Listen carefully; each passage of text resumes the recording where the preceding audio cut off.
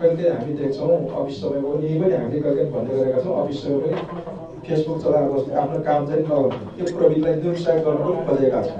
त्यस कारण अहिले हामीले हेर्दाखेरि फ्री वाइफाई कसैले भन्न सक्दा फेरि चौबिस घन्टा कुन पनि आठ घन्टा मात्रै किन भनेर पनि तर अहिले हामीले आठ घन्टा छ। यसले फेरि सर्वै भयो त्यो समय पनि हामी छलफल गरेर अगाडि बढाउन सक्छौँ। र क्षेत्रको समय पनि हामी बढाउन सक्छौँ। छ ठाउँ त्यसको लागि एउटा हामीले कमिटी बनाएका छौँ। कमिटीले आवश्यकता अनुसार ठाउँको पहिचान गरेर अगाडि बढ्न सक्छौँ। अहिलेको अर्थअनुसार अहिले हामीले जति छ ठाउँ मात्र भएका छौँ यो बाहेक पनि हामी गर्छौँ त्यसको लागि हामी फेरि अध्ययन पनि गर्छौँ। र काठमाडौँ महानगरपालिकाले आफूले घोषणा गरेका नीतिहरूमध्ये यो पनि एउटा फ्री वाइफाई जोन पनि एउटा हो।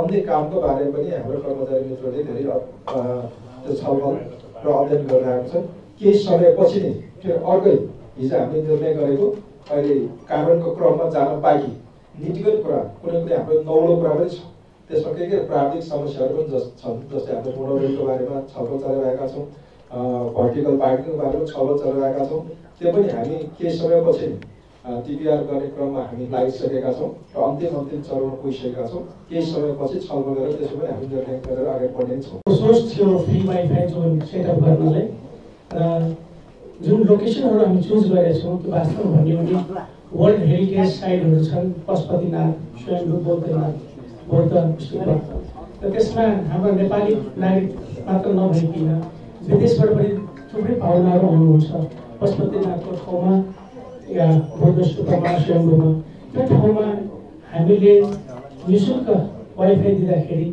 वर्ल्ड आज बाँच्न भनेर नै एकदमै खुसी भएको छ सधैँ हामी व्यवहार आफ्नो ठाउँमा व्यवहार गर्छौँ सेवा दिनु एउटा ठुलो धर्म हो हामीले यो सेवा जुन दिइरहेछौँ आज।